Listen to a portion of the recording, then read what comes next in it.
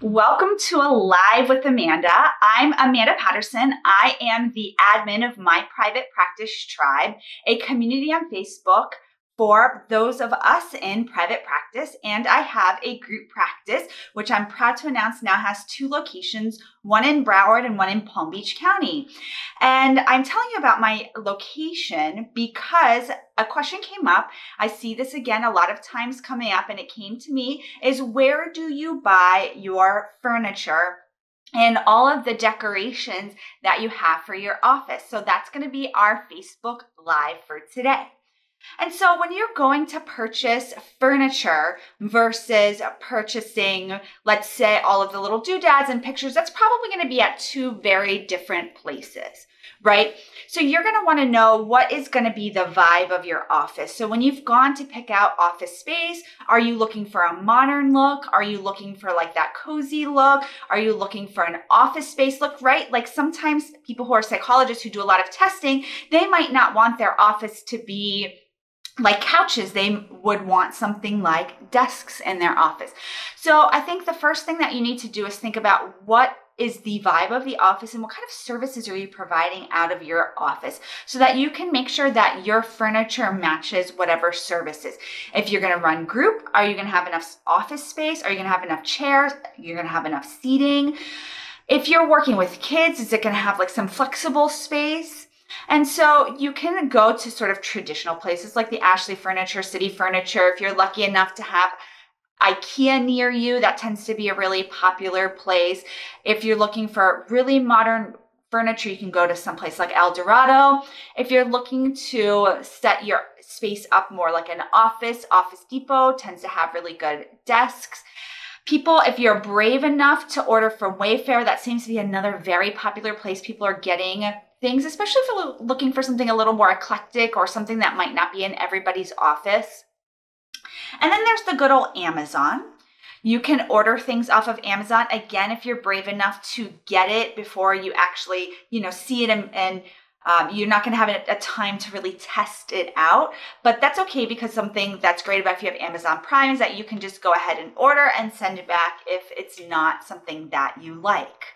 And so now we're going to transition to where do you get your rugs, your pictures, your little like, you know, you can see back here I have these like faux plants. I didn't get real plants because I kill real plants. So you want to make sure that you know what, what your threshold is in terms of whether you get real or fake plants.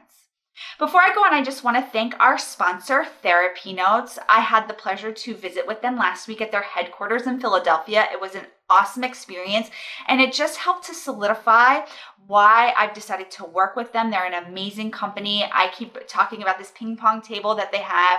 So if you're looking for an electronic health record that's full service, somewhere you can bill appointment reminders, you can do treatment plans, you can write your notes, I definitely check out TherapyNotes. So let's go back to talking about where can you get pictures. Hobby Lobby, Target, Home Goods. If you have a Marshall's Home Goods, those tend to be really good.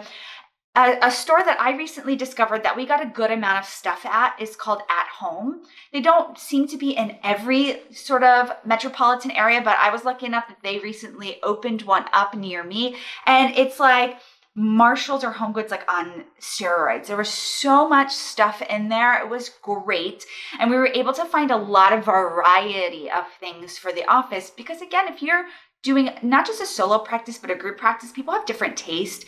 People have different um, feelings when they go into offices that you need a lot of different types of things. So going to somewhere that has like a little bit of larger stuff or a larger selection. But again, if you're looking for something really specific, you can go to places like Pier One Imports. They tend to have like some really cool items. Pottery Barn um, has some really unique items. And so you need to decide what you want your office to look like. You can sit down, kind of think about that, close your eyes, think about what you want your clients to feel when they come into your space. How do you want to feel when you come into your space, right? And so you can pretty much probably go to any store that sells you know, home items, pictures, rugs, all of that stuff. We even got some rugs at Costco. They tend to have like some pretty good deals on things. I got the blankets here from Costco.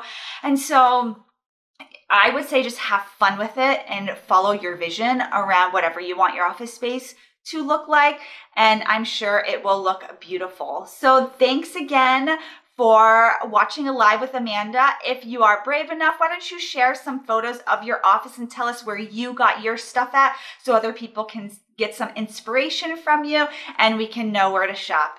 Thanks, everybody.